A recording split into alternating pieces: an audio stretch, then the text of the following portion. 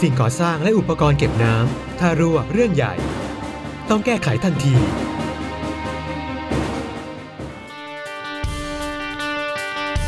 น้ำรั่วไหลไม่หยุด ปล่อยไว้จะเสียหายหนัก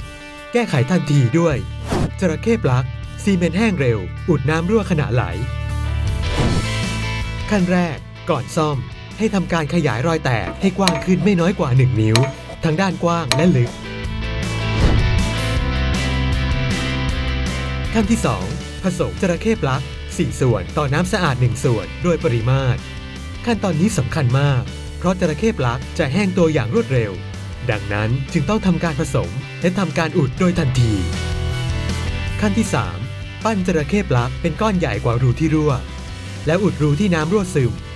กดค้างไว้ประมาณ 30-60 วินาที ในกรณีที่มีน้ำไหลแรง ให้กดค้างทิ้งไว้ 2-3 นาที จากนั้นให้ปาดแต่งผิวทันที เพียงไม่กี่ขั้นตอนก็หยุดปัญหาใหญ่ได้ง่าย ๆ ด้วยจระเข้ปลักนวัตกรรมก่อสร้างความสุข จากครอบครัวจระเข้